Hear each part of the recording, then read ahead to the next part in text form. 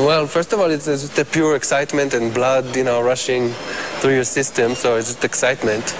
And but on a maybe deeper level, you feel like, uh, you know, you worked your whole life and really pretty much practice in a small practice room, you know, six, seven hours a day for six years, seven years, eight years, ten years.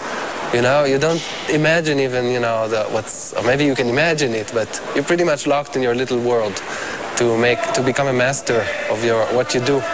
And then uh, when you see this, it's kind of a reward. It's like, oh, all this work, you know, and, and now it's out there and it's communicating to people. So I wasn't just really crazy sitting in that little room, you know, imagining something. So.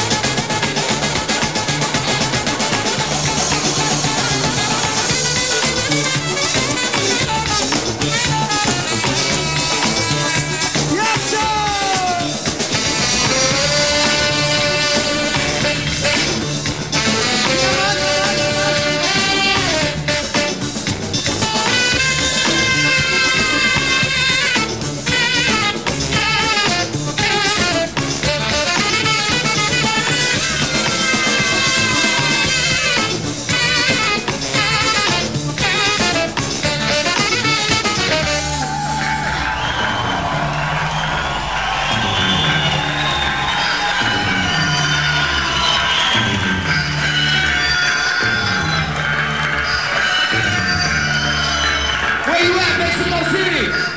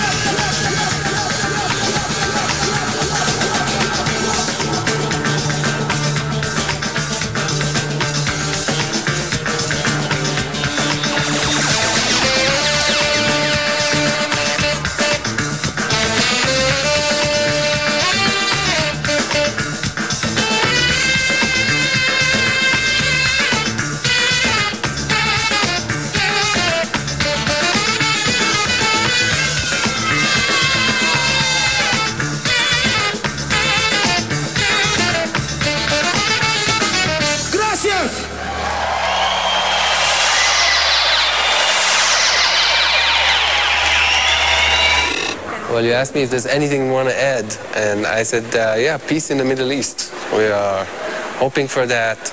We are terrified about what's going on for a long time, and uh, very sad for what's been going on. Uh, you know, music alone will not fix it, but you know, it's a kind of utopic vision. But we hope next time we come, you know, it's going to be better, and uh, just pray for that.